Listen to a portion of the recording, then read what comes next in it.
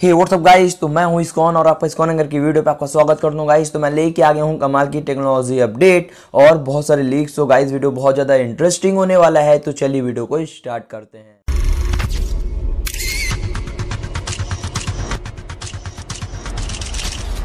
Number six की बात करें तो आज जो मैं ये रिपोर्ट्स आपको बताने वाला हूँ, नंबर सिक्स की, ये थोड़ा सा आने वाले फ्यूचर के लिए गाइस थोड़ा सा खतरे की घंटी बनती जा रही है, क्योंकि जो हमारे आने वाला फ्यूचर वो सुरक्षित नहीं होने वाला, क्योंकि समुद्री जो स्तर है गाइस वो कार्बन उत्सर्जन के कारण गाइस आगे हमारे लिए बहुत ही ज़्यादा प्रभावशाली होने वाले तो गाइस मैं आपको बता दूँ, सिंगापुर की एक नॉन यंग टेक्नोलॉजी यूनिवर्सिटी के जो रिसर्च है तो उन्होंने स्टडी की है कि जो सी लेवल है, वो अगर बढ़ेगा तो क्या होगा? उन्होंने बताया कि अगर वैश्विक स्तर पर कार्बन उत्सर्जन नहीं रुका तो समुद्री जल स्तर साल 2100 तक एक मीटर से अधिक और साल 2300 तक पाँच मीटर तक बढ़ सकता है। और अगर कार्बन डाइऑक्साइड का उत्सर्जन कम रहा और वैश्विक तापमान दो डिग्री सेल्सियस तक ही बढ़ा तो साल 2100 तक समुद्री जल स्तर तकरीबन 0.5 मीटर ही बढ़ पाएगा। जो कि गाइस ये नई स्टडी सामने आई है और जो उन्होंने ये भी कहा, जो प्लास्टिक यूज़ हो रहा है, उसके कारण समुद्री में बहुत सारे ऐसे जो जीव है, वो लुप्त होते जा रहे हैं। जो कि गाइस बात सही नहीं है। पे आने वाला जो फ्यूचर है, उससे अगर हमें अच्छा और सुरक्षित करना है तो हमें कार्बन डाइऑक्साइड का उत्सर्जन कम करना होगा, जिससे हमारा आने वाला जो फ्यूचर है, वो बहुत ही ज़्यादा सुरक्षित हो सके।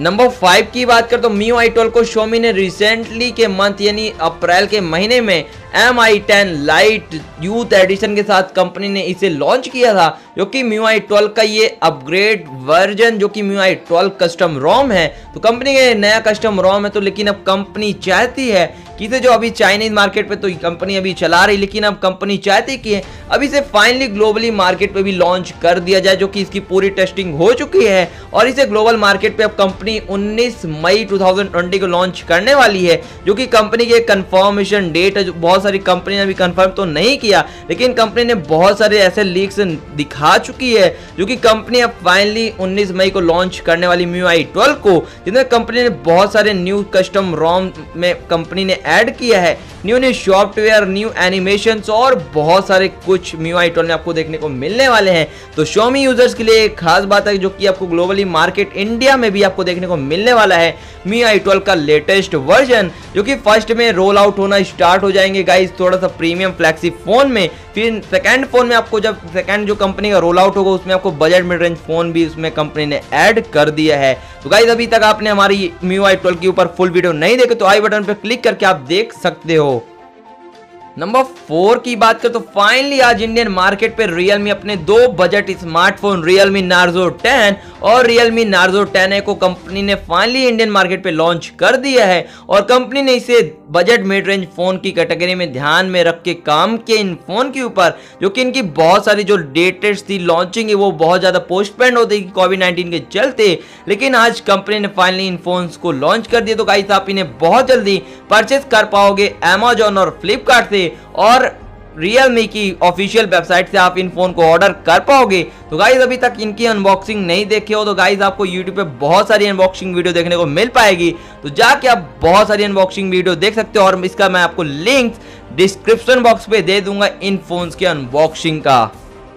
नंबर थ्री की बात करें तो शोमी का सब ब्रांड रेडमी का guys budget mid range phone Redmi 8 का अपग्रेड वेरिएंट रेडमी 9 बहुत जल्दी आपको मार्केट पे देखने को मिलने वाला है। तो आज मैं आपको बता दूँ, Redmi 9 Xiaomi का अगला स्मार्टफ़ोन होने वाला जो कि बजट मिड रेंज फ़ोन है और कंपनी ने इसे ऑनलाइन स्पॉट किया, जो कि इसे लिस्टिंग के बाद से जल्द ऑनलाइन इसे कंपनी लॉन्च करने वाली है। मैं आपको बता दूँ शोमी ने अभी तक किसी भी इससे लॉन्चिंग का तो डेट अभी कंफर्म नहीं बताया है। लेकिन गाइस बता दो, इसको पहले, सबसे पहले थ्री सी सर्टिफिकेशन आपको डेटाबेस पर इसे कंपनी ने लिस्ट कर दिया है, जो कि इसे चाइनीज़ मार्केट में सबसे पहले कंपनी लॉन्च करेगी। उसके बाद आपको इंडियन मार्केट पे देखने को मिल पाएगा। और जो इसका जो एक्सेप्टेड रेट बताया जा रहा है, वो आठ हज़ार आपको इस फ़ोन का प्राइस होने वाला है।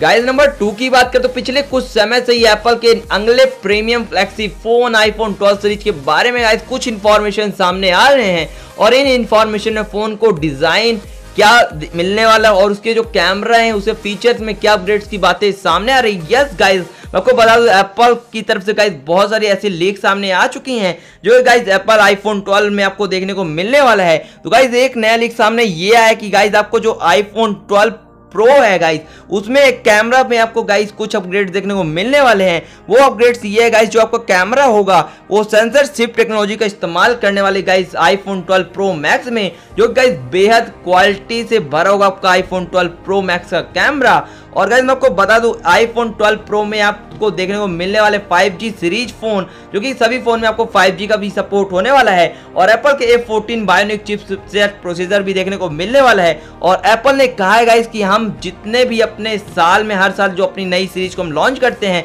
उसी समय पर भाई गाइस ये सितंबर या अक्टूबर के महीने में कंपनी अपने नए प्रीमियम फ़ोन को लॉन्च करने वाली है। गाइस नंबर वन की बात कर तो जो मैं आपको बताने वाला हूँ, वो आप सुन के गाइस हैरान हो जाओगे। तो गाइस मैं आपको बता दूँ, दुनिया के सबसे ऊँचे पर्वत शिखर माउंट एवरेस्ट पर 5G नेटवर्क पहुँच गया है और हिमालय के सबसे ऊँचे शिखर पर Chinese mobile operator China Mobile और हुआवे ने मिलकर 5G टावर को पिछले दिनों लगा दिया है। इस टावर पर लगाने से पर्वत जो रोहित जो जाते हैं, वो एक्सट्रीम कंडीशन में भी बेहतर नेटवर्क एक्टिविटी मिल पाएगी उन्हें। और यहाँ लगाए गए टावर में 1.7